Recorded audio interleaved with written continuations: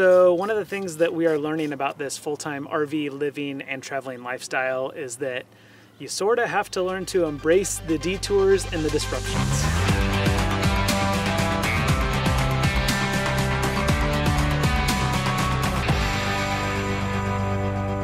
Today's disruption is, well, we tried to take our Chappie over to an RV park and set it up and level it, and one of our front jacks bound up and locked. It only raised the rig about two inches and would not go any further.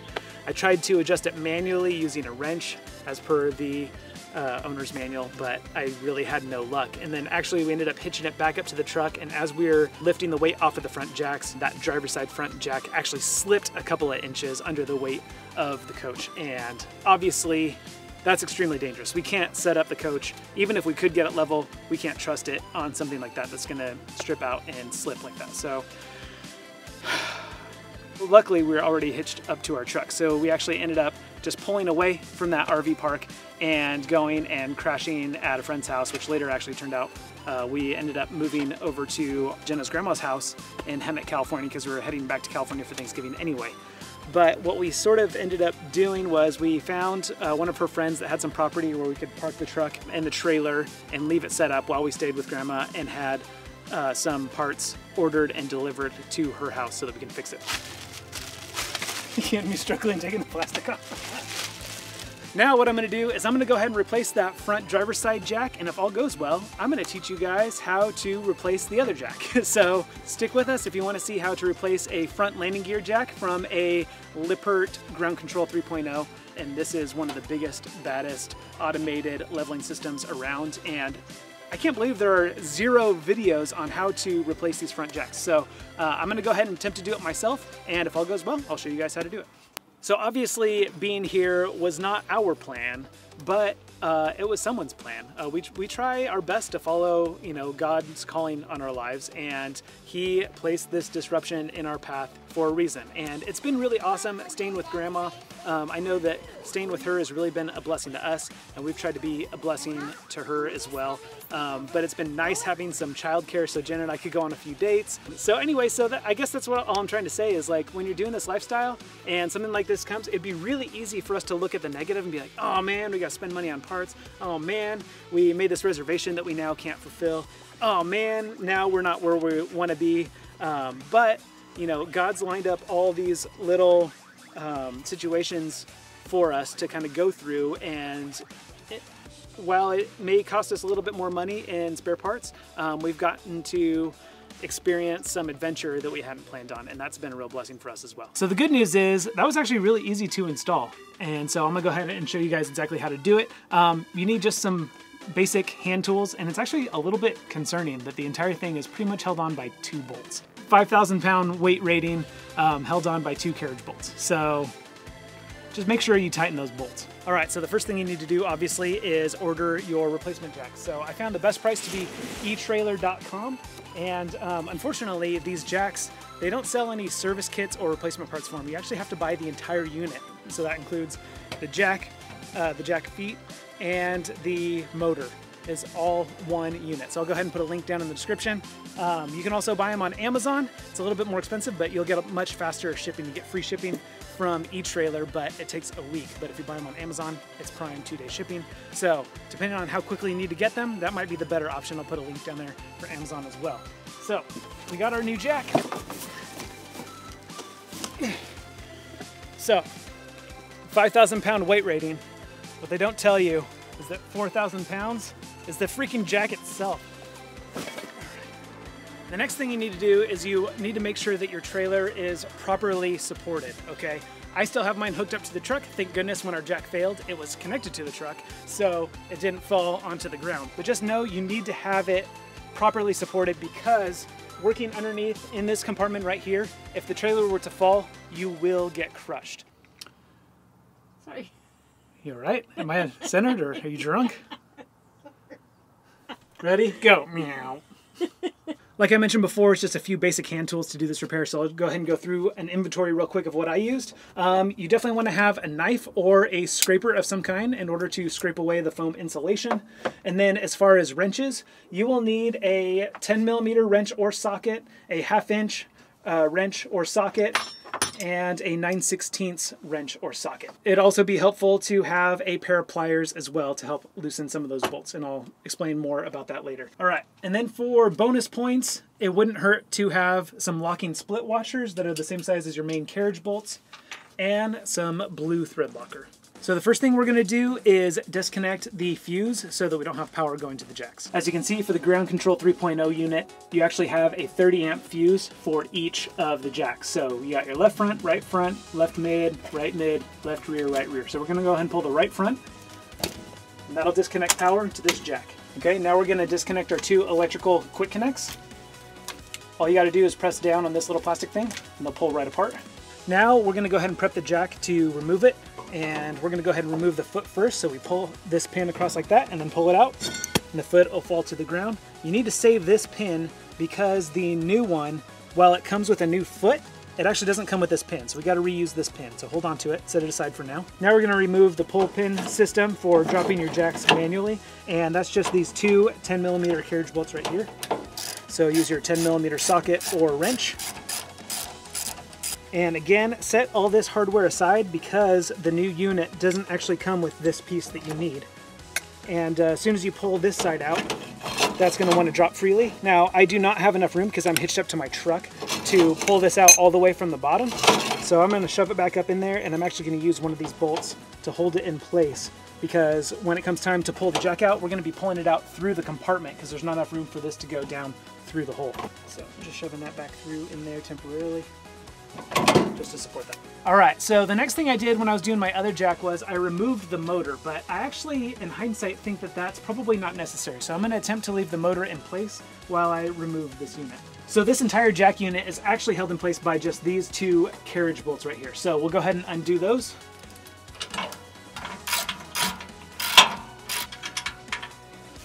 And again, save the carriage bolts because they are not included with the replacement, so you will have to reuse your carriage bolts. All right, so as you can see, this carriage bolt right here is surrounded by this nasty foam sealant, so that's why you want to have um, a knife or a scraper because we're going to scrape all that away. And don't worry, we can replace that later. Uh, but for now, we're going to go ahead and just unbury this bolt.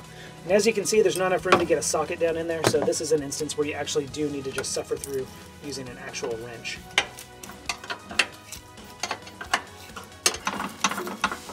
There we go. So can you believe the entire weight that these jacks support are held on by just two carriage bolts and the nut, not even a locking nut. Okay, this is just a regular nut. So uh, that's why I said bonus points. Me, whenever I'm fixing something on my rig, I like to fix it better than it was originally designed. So in this instance, it's a really cheap but effective repair to just do a little split uh, locking washer that fits the carriage bolt and then I'm also going to put a couple of drops of blue Loctite on there when I mount up my new jack, just to ensure that these bolts will never come loose unless I want them to with a wrench. All right, so I'm to go ahead and pull out this other carriage bolt, and we'll see if we actually need to remove the motor or not, but I suspect not. There we go. There we go. Oh gosh dang. Oh, 4,000 pounds. Compressions. One, two, 75, 100. Okay. What was I doing again? I'm seriously out of breath from that. That was stupid. Why, why do you let me do those stupid You're things? really so I really am. You seriously have no idea how heavy those things are. 100 reps, 4,000 pounds, no problem.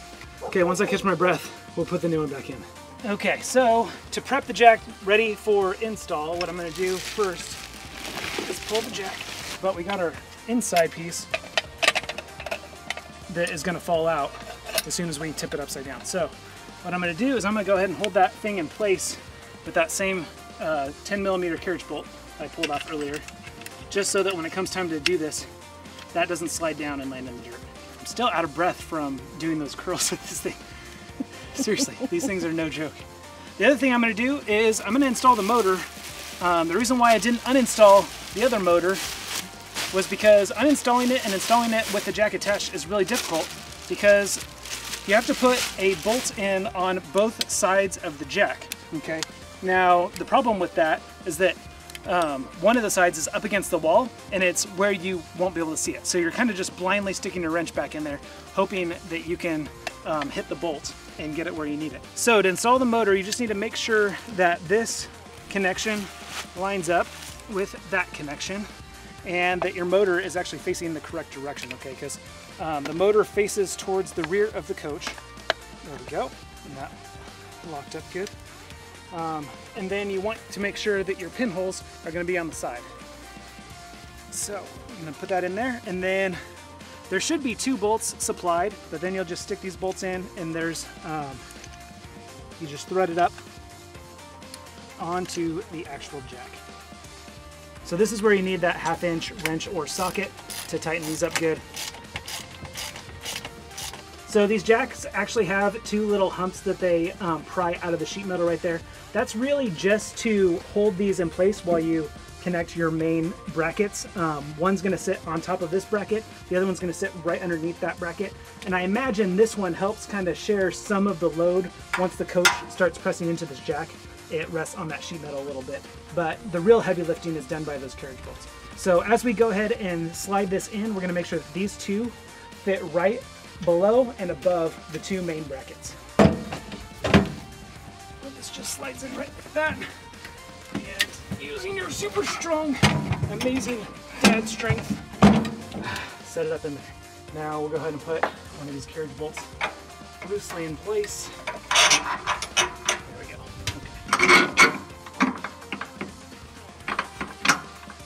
All right, so we got our two carriage bolts in. Now what I'm gonna go ahead and do is just put on a drop of this blue Loctite on both, and then put on our split washers and our nuts.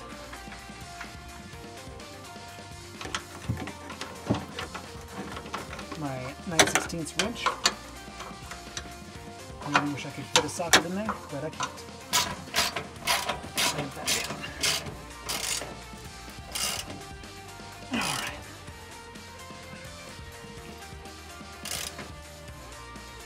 Alright, perfect. Okay. Now we'll go ahead and attach our new foot. Okay, now I can pull this guy out and go ahead and put our landing leg quick connect bracket back on. I apologize guys, I thought I had a lot more daylight than I actually had to film this video. But I gotta get this done so we can get back on the road. Alright. Alright, that seems that'll work. About as good as it did before. Perfect. Okay, and now we can attach our new foot. So nice of them to include a brand new foot, but not a quick connect for it.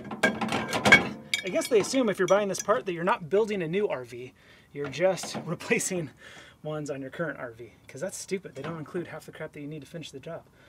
All right. All right, so last thing, we're gonna go ahead and reconnect our quick connects. And these were zip tied to the motor like that. So I will probably go back with a zip tie and zip those up just for a little bit cleaner connection. And then we have to replace our 30 amp fuse.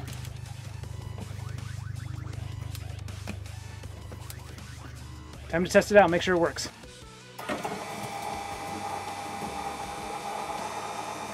right, they go down? Yep. All right, let's see if they go up.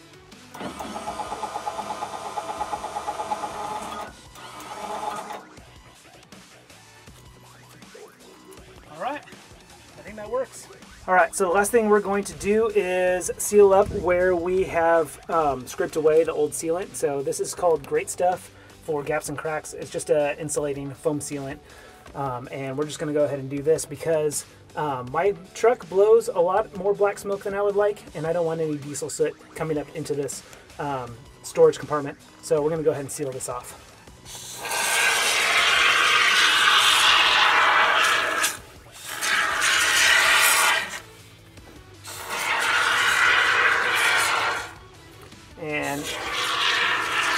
Stuff you just apply liberally and it will expand and it should be should be coming out the bottom. Let's go ahead and check the bottom, make sure it's coming out the bottom. So you can see it is starting to come out the bottom. I am going to put a little bit more on the bottom here just to make sure we get a good tight seal. Um, but once this stuff, this stuff will just continue to expand and expand and expand until it dries, and then you can just cut away the excess with a razor blade, uh, like I showed you earlier. All right, yesterday obviously we ran out of daylight to complete our full test. So today we're gonna complete the full test by making sure that the front jacks can actually support the weight of the entire trailer loaded up. So we got the truck on and warming up. Now we're gonna drop down those front jacks and detach it from the truck, make sure it can support the weight, and then also make sure that it can still push the trailer up so that we can get level.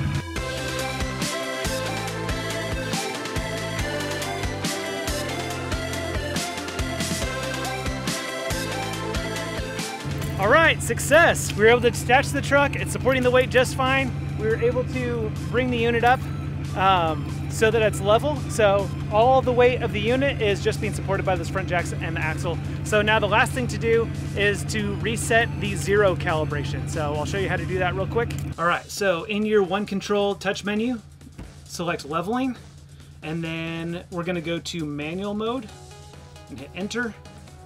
And as you can see, I already manually leveled it so that I am level side to side, front and rear, and then also level front to rear. Um, the unfortunate thing is that when I test with my actual level, I'm a little bit off. So I'm gonna re-zero this thing based on what a real level is telling me. So as you can see, I have used this level all around the entire RV and you can see that bubble is just slowly sitting over there to the right hand side. So we need to raise up the left hand side just a tad.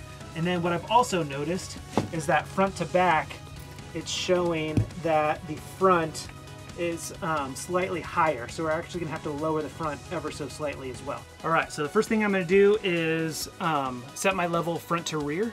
So because in order to do side to side, I'm gonna have to drop the rear jacks, but I don't wanna drop the rear jacks until we are level front to rear.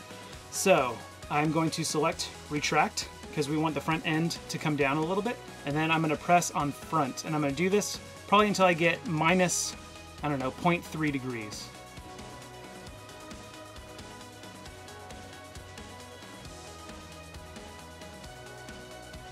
All right, so now let's double check with our level.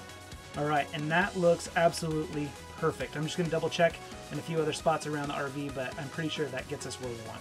Okay, as you can see, I ended up putting it back on negative 0.2 because as I checked other spots around the RV, that seemed like it was more the happy medium between level across the entire surface of the whole RV. So now we're gonna um, extend our rear jacks till they hit the ground. So I'm gonna hit extend and then bring down the rears. Okay, so the rear jacks have hit the ground.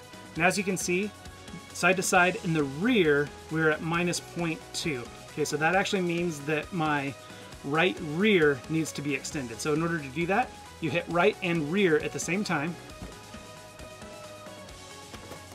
All right, so now you can see, well, now we're saying plus one, but that's close enough. We're gonna check with the level now. Are we level side to side in both the front and in the rear? And if we need to, we can extend each one of the four jacks individually um, just by hitting extend or retract and then hitting front right, front left, right rear, right left. Okay, so according to my actual level, not this, it's telling me that my left side needs to come up all over, front and back. So we're on extend and we're just gonna hit left. And we'll probably go maybe 0.2 degrees. Okay, so despite what all these numbers say, which is really screwy, I've double checked with my level everywhere around my rig and I found this to be the happiest medium in every spot for completely level side to side in the front, side to side in the rear, and then also front to rear. So to re-zero it, we're going to go back and hit options. It's going to tell you that this is an advanced feature. Do you want to continue? Collect yes, collect, or select yes. It says setup, zero mode, press enter. Now hold very still when it after you press enter to set the zero point cal calibration.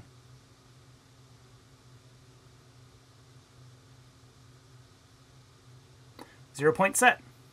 So now we should be able to do our auto level, our auto hitch, auto retract. It should be able to do all that based on the zero point that we just set right here. So just out of curiosity, I think if you go to manual mode, it should have zeroed everything out. Yep, there we go. So now we're zero everywhere.